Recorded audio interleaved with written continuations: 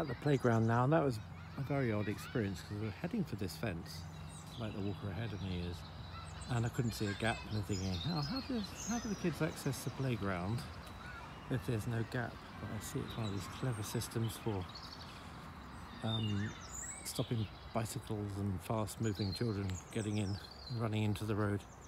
So there's a little gap just like there. As I get to the road, there should be a path directly opposite the edge of the school. But again, like the gap in their fence here, I can't actually spot it.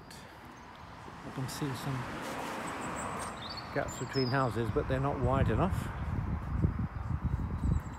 Ivy Chimneys Road. I can't see a footpath sign. But if I'm going to guess, it's going to be along opposite the school, way.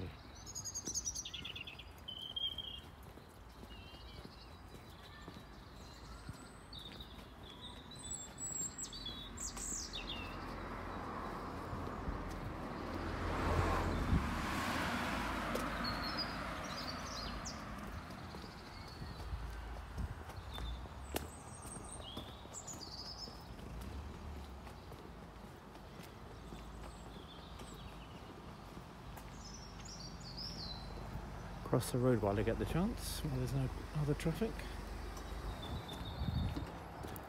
Just simply because the path should appear on the right. If it doesn't, ah, there it is. Just seen it beyond the white house before the yellow house. That's a hidden byway. That's a lost byway, as the book says.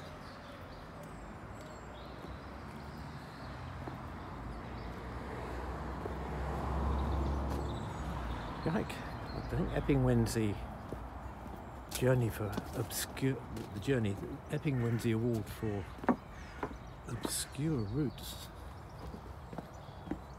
Although there was a signpost, but uh, this was supposed to be the standard route from Epping station. And it's anything but standard, especially that wooded section. That was a bit difficult. With any luck, this will open out and we'll be able to see a field going over to a footbridge, although the height of the ground beyond suggests that might not be true.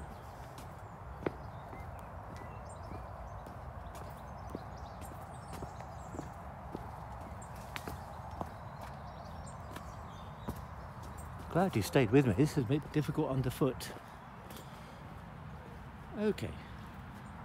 So an open field and that pointing.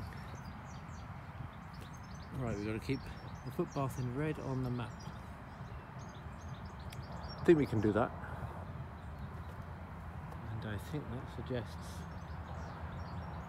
I think that uh, way over there by the pylon suggests that that's the way through. it's like a area where the plough hasn't been and some vehicle traffic has been. I can certainly hear the M25 now